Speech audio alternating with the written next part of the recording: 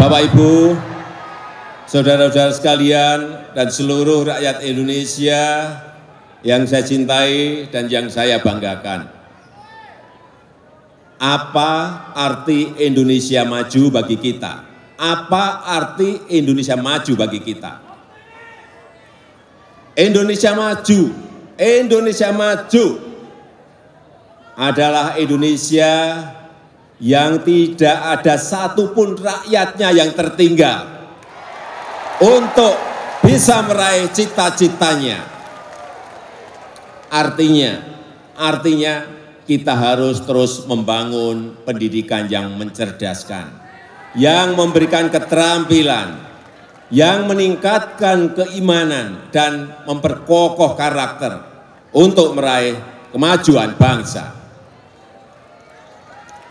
Indonesia maju, Indonesia maju adalah Indonesia yang demokratis, yang memiliki kepastian hukum, agar setiap orang dapat dilindungi dan memiliki hak yang sama di depan hukum. Artinya, artinya kita harus membangun sistem hukum yang bersih dan terpercaya untuk memberantas korupsi, untuk menegakkan keadilan, untuk menegakkan HAM, dan menangani kejahatan-kejahatan yang ada. Indonesia maju adalah Indonesia yang mampu mengembangkan ilmu pengetahuan dan teknologi, yang mendorong inovasi untuk meningkatkan produktivitas, serta meningkatkan daya saing dan martabat bangsa. Artinya, kita harus mampu mengolah dan mengelola sumber daya alam kita yang kita manfaatkan untuk sebesar-besarnya bagi kemakmuran rakyat.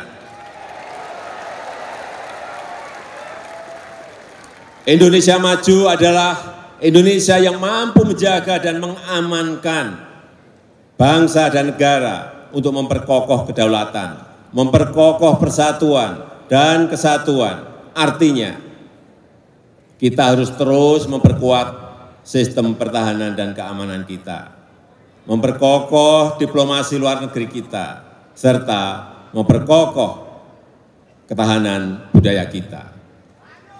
Dan dan untuk mencapai Indonesia maju yang kita cita-citakan, selama empat tahun ini kita telah bekerja keras untuk membangun fondasi infrastruktur kita bagi seluruh rakyat Indonesia. Kita membangun di seluruh pelosok tanah air, di perbatasan, dan semua desa di negeri kita yang kita cintai ini. Alhamdulillah, Alhamdulillah untuk pertama kalinya angka kemiskinan telah turun di bawah 10 persen. Hanya satu digit angka kemiskinan yang terendah dalam sejarah Indonesia.